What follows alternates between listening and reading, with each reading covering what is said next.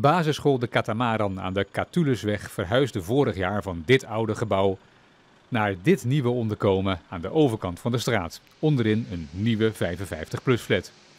Maar in de bestaande 55-plus flat ernaast zat een deel van de bewoners daar niet op te wachten. Ze raakten hun uitzicht kwijt en kregen het schoolplein een stuk dichterbij dan daarvoor. En sindsdien is het woongenot verdwenen. Je kan geen raam open doen, je kan geen deur open doen, je moet alle roosters dicht doen. En dan nog hoor je constant het gezoem van ergelijke geluiden. Nou, het is niet om aan te Het is niet om aan te horen. Het is werkelijk schandalig, schandalig. Het gaat nog niet eens over grote aantallen kinderen. Dat geeft herrie. Maar soms is het één klasje, maakt net zoveel herrie als de hele school. En als je er dan wat van zegt, dat, het, eh, dat, het, uh, uh, dat ze veel geluid maken, dan krijg je door. De kinderen moeten toch ook kunnen praten. Maar over krijsen en gillen en schreeuwen, daar hoor je ze niet over. We hebben niets tegen kinderen. We mogen alles van ons. maar niet hier? Alles. Maar niet hier. Van krijsende kinderen vanochtend geen spoor. Wij vinden ze eigenlijk opvallend braaf. Maar ze gillen ook pas als het pauze is, al dus de bewoners. De schooldirecteur zegt dat gillende kinderen natuurlijk worden aangesproken op hun gedrag. Ja, ik kan hier geen stiltegebied uh, creëren. Spelende kinderen maken, maken herrie, die roepen, die joelen, die juichen. Uh, die gaan ook wel eens keer tegen elkaar. Wat, wat, ik wel begrijp, dat dat echt overdreven gegil, dat dat aangesproken moet worden. En dat doen mijn collega's ook. dus daarin, daarin kan ik proberen de, de, de herrie wat te, te, beperken. Ik kan me ook voorstellen dat u denkt van waar hebben we het eigenlijk over?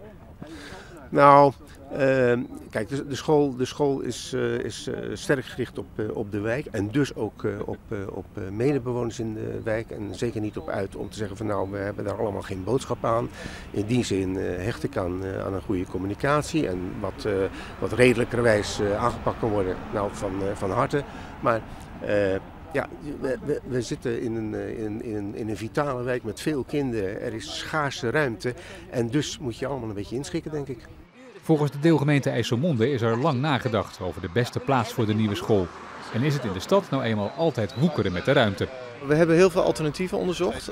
Een, eentje was het, eh, de wens van de school was direct onder de parkflat. Nou, dat, dat vonden we uh, niet acceptabel.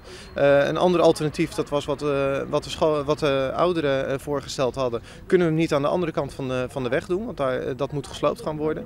Ja, dat was een optie geweest, maar zegt de school van als je accepteert dat er eens en zoveel tijd kinderen doodgereden worden, omdat dit nou eenmaal een drukke doorvoerweg zal blijven, met name ook omdat er een buslijn rijdt.